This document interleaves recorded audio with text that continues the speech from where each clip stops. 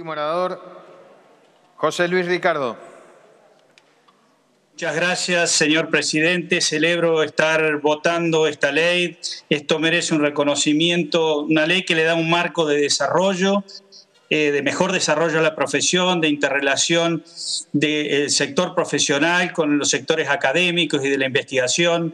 Quiero expresar el reconocimiento a, Mario Fiada, a Soledad Carrizo, a Claudia Najul, a, los miembros de la Comisión de, Salud de, nuestro interbloque, Gonzalo del Cerro, Carmen Polledo, que han trabajado y han tenido una disposición especial a que esto tuviera un enorme consenso. También esto implicó un trabajo eh, mancomunado en las provincias y quiero en ese sentido reconocer el trabajo en mi provincia, en la provincia de San Luis, de eh, la diputada provincial Neri Carlomagno, que además es una என்ன aquilatada licenciada en fonoaudiología de la Universidad Nacional de San Luis, porque nos acercó a las inquietudes de las asociaciones profesionales que han empujado, que han aportado ideas, eh, CODEFO en San Luis, ASALFA, la Federación Argentina de Fonoaudiología, los colegios profesionales, las universidades, nombro a la nuestra, la Universidad Nacional de San Luis, la de Rosario, también la de Córdoba, la Universidad Nacional de Buenos Aires y tantas otras universidades privadas. Eh, quiero, eh,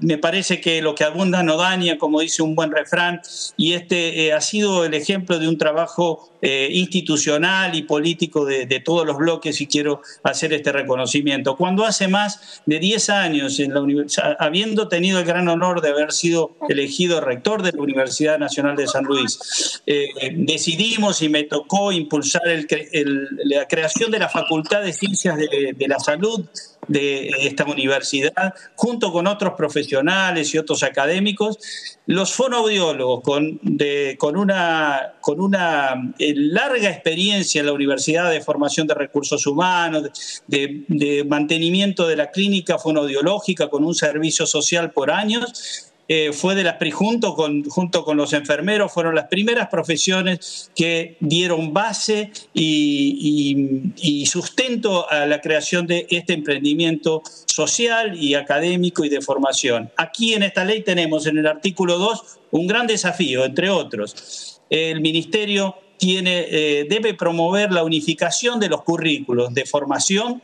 eh, de todos los fonoaudiólogos a lo largo y a lo ancho del país en las universidades nacionales y privadas. En San Luis, con esta larga experiencia de nuestra, desde nuestra provincia, desde nuestra Universidad Nacional, tenemos con todo este equipo de profesionales eh, que lo nombré en el, nombre, lo, quise poner en el nombre de Neri Carlomagno porque le ha tocado conducir en la universidad, además de su tarea política hoy en el bloque Arturo Ilia de la Unión Cívica Radical de la provincia.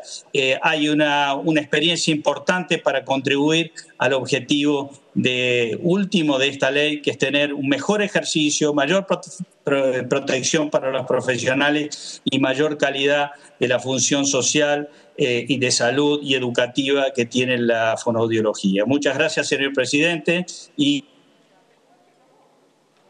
votamos esta ley que estuvo, mantuvo prácticamente despiertos a todos los fonoaudiólogos del país en la última sesión que no pudimos concretar. Hoy se concreta y es, eh, es la devolución que hacemos para todo el esfuerzo de, de todos quienes trabajaron para ello. Gracias. Gracias, diputado.